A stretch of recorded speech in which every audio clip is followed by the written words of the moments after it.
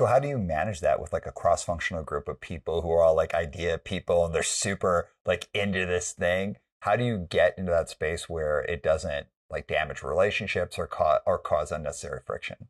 One thing we actually started, and this is the credit of an individual who works on my team. I do not want to take the credit. It's all his idea.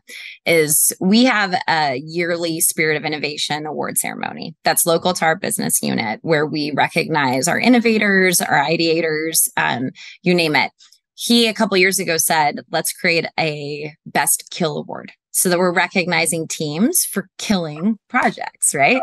And it is my favorite. It's my favorite medal. We give everyone medals that they wear. And this medal has a skull and crossbones on it, right? It's the one unique one. And it's like, so I think that's one example where it's, hey, it's okay to kill. We actually want teams to come to us and tell us why something won't work or why now is not the time. So that's like one thing that we've done to try to like celebrate killing programs because it mm-hmm. is just as if important, if not even more important than than the pushing programs forward.